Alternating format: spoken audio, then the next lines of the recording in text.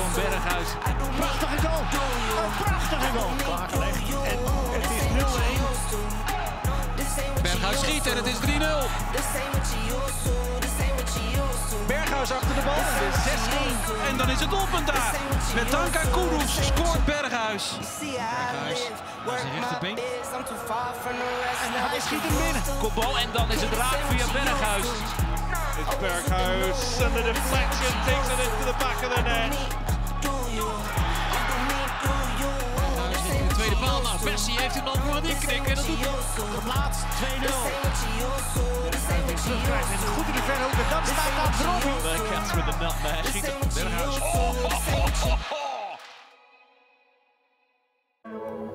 Steven, Hallo. wie had dat kunnen denken? Twee jaar geleden kwam je naar onze club Ja, en nu Ajax ziet van het jaar. Namens alle supporters van harte gefeliciteerd. dankjewel. Ze hebben allemaal gestemd na elke wedstrijd Ja. op hun man of the match. Ik heb het gehoord. Uiteindelijk hebben wij als supportersvereniging Ajax al die punten bij elkaar opgeteld. En ben jij hun favoriet geworden dit jaar. Jij wint daarom de Rinus Michels trofee. Wat gaat er door je heen? Dat is de sportvraag natuurlijk. Eh, trots, wat jij zegt, twee jaar geleden. Berghuis Ajax ziet van het jaar. Het zou vrij raar staan. maar het is een mooie van eh, voetbal, denk ik.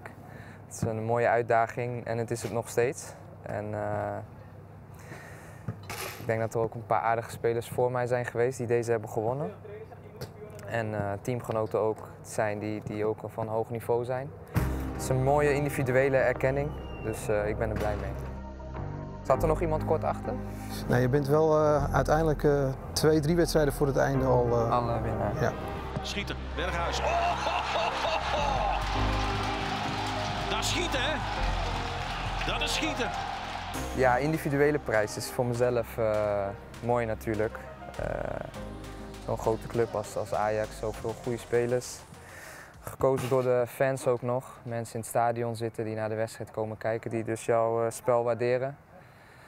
Als ik terugkijk op mijn seizoen, denk ik, ja, op zich individueel een goed seizoen. Denk ik voornamelijk voor de winterstop. Denk na het WK heb ik wel een fase gehad van nou, dat John dan weer trainer werd, dat het goed ging. Ook daarna een fase dat, eh, dat het wat eh, minder ging. Ik ook het- de fase dat ik wat meer op rechtsbuiten te spelen kwam eh, uiteindelijk. Maar ehm, ja, heel erg blij mee. Wat ik net zei, zou- zouden vast vele goede spelers voor mij zijn geweest. Ik hoorde net al Ziyech drie keer, Tadic, Lisandro vorig jaar. Dus dat is leuk om te horen. Ja, een mooi rijtje. Wat valt je op aan het rijtje? Wat me opvalt, Ja? Als je die zo opnoemt? ja, dat zijn wel vier linkspoten die ik heb opgenoemd. Precies, ja. Wat zegt dat? Dat weet ik niet. Ik weet niet. Daar zullen we verder voor terug moeten zijn. Maar dat de linkspoot eh, goed in de smaak vallen misschien. Schot van Klaassen geblokt. Kudus is voor om hem binnen te houden. En er langs te komen en terug te leggen. En dan is het doelpunt daar. Met dank aan Kudus scoort Berghuis. Wat is het hoogtepunt voor jou voor dit seizoen? In een moeilijk seizoen voor iedereen. Wat, wat noem jij dan als hoogtepunt? Ja, vind ik wel moeilijk. Niet zo heel veel gekend, eh, eerlijk gezegd. Eh, onder ons niveau, eh, onder de verwachtingen van ons, van de club. Is dat wel moeilijk om één hoogtepunt op te noemen. Maar voor mezelf is dit wel een, eh, een klein hoogtepuntje. Ja, waar ga je hem laten? Ja, thuis in de kast. Ik ga verhuizen.